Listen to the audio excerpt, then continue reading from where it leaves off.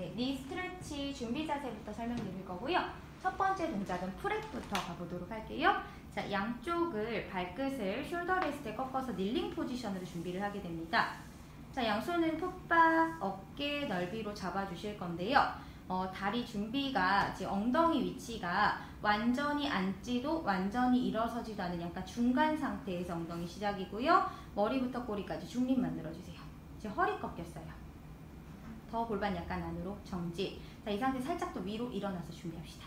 네, 여기서 지금 자세를 체크하는 방법을 어, 양손을 들었을 때 네, 앞으로 쏟아지지 않는 정도거든요. 오른손 위로 팔 들어볼까요?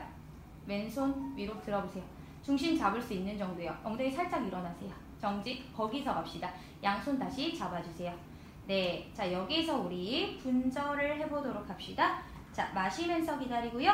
자, 내쉬는 호흡에 꼬리뼈부터 말아서 순차적으로 분절하면서 시선 배꼽 바라보는 것처럼 최대 라운드 만들어주세요.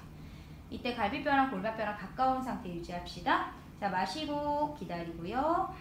내쉬는 호흡에 팔과 다리 고정한 상태에서 꼬리뼈부터 순차적으로 중립까지 불어서 돌아옵시다. 목이치 너무 들렸어요. 아랫사선 바라보세요. 그쵸? 허리 약간 꺾였고요. 다시 한번더 합시다. 내쉬는 호흡에 엉덩이부터 말아서 그쵸? 하나하나 순차적으로 최대 C컬 만들어주세요.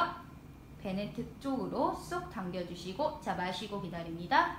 내쉬는 호흡에 꼬리뼈부터 하나하나 순차적으로 불어서 중립 돌아옵시다.